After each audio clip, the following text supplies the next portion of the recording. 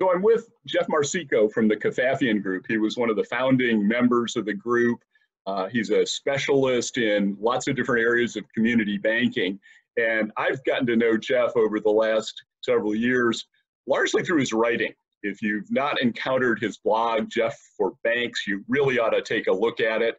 Uh, in my estimation, Jeff, among other things, in addition to being a great advocate for community banking and an advisor to community banking, he's a real asset because he, he provides a really valuable perspective.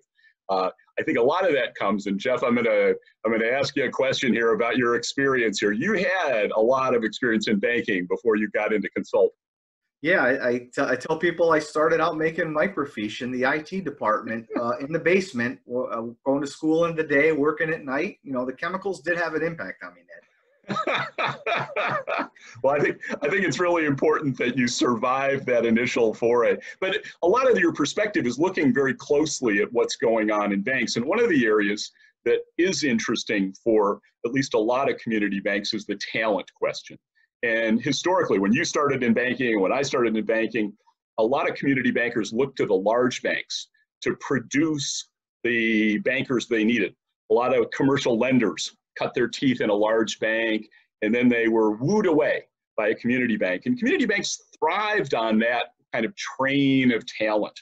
That stopped because a lot of the big banks stopped preparing people in the ways that community banks were looking for. They were, they were looking for generalists where the, the commercial banks, the large ones, were preparing specialists, or the large banks stopped training. So I guess I'm curious from your vantage point, you, you deal with a lot of banks across the country. How do community bank CEOs deal with this talent issue? Well, it depends on the area that you're talking about because it's almost a little different uh, per area. Maybe we could talk on the commercial lender issue. It's always a big issue. And a lot of banks have experienced this because it used to be in the day that somebody would train through the big banks, as you had mentioned, but that has gone away. We're talking about a generation ago. We're, we're yeah. already a generation past in that, in that. We're even aging me here, and and and that hasn't happened in so long. But our our fill in was pick them off the street, mm-hmm. and what we ended up doing is we ended up sort of bidding up the the cost of of, of getting talent, and that worked initially because um, because the payback uh, of getting a commercial lender because they would bring a big percentage of their book over within six months, 8 mm-hmm. months. They would basically be paying for themselves in that short amount of time. Mm-hmm. So it wasn't a budget buster to be able to do that. Yeah, yeah.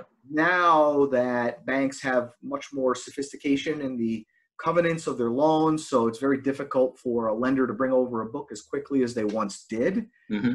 Payback's becoming less and less, and those lenders from 10, 15 years ago are pretty old now. Mm-hmm. And so banks are looking to replace another cohort of lenders, and we've fallen behind.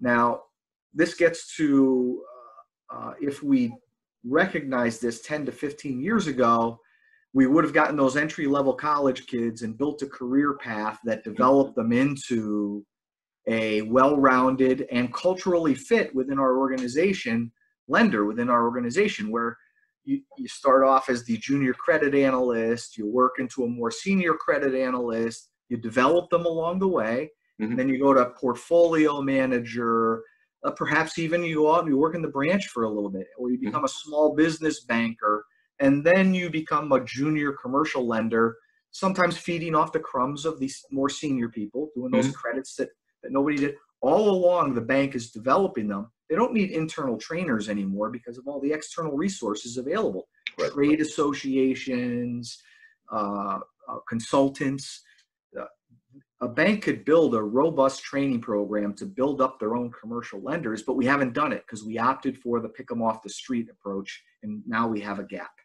So, and, it, and, and, it's interesting because I think it, it is a demographic issue because there is a whole cohort of, of bankers, particularly on the commercial side, that is about ready to retire. So you're looking at this situation where I think that the community banks that are, are addressing the issue with trying to bring people along in the way you talked about, bring somebody in who's got all the right stuff, the right DNA, the, the right attitude.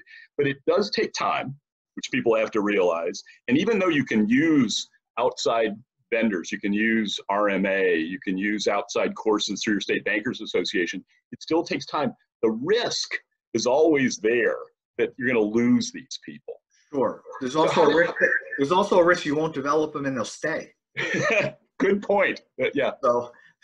Yeah. So uh, yeah, there is the risk that you're going to lose those people, and I think it's worth the risk. I just think that banks are going to have to do it. They put it in their cultural DNA, and they develop succession plans all the way down to their commercial lender, uh, so that we have a pipeline. Imagine, Ned, if you have uh, a, a 20 person lending staff and you have an eight person credit analyst cadre. Mm-hmm. And every two years, your credit analysts graduate into becoming either portfolio managers or, or commercial lenders themselves. Imagine having that pipeline.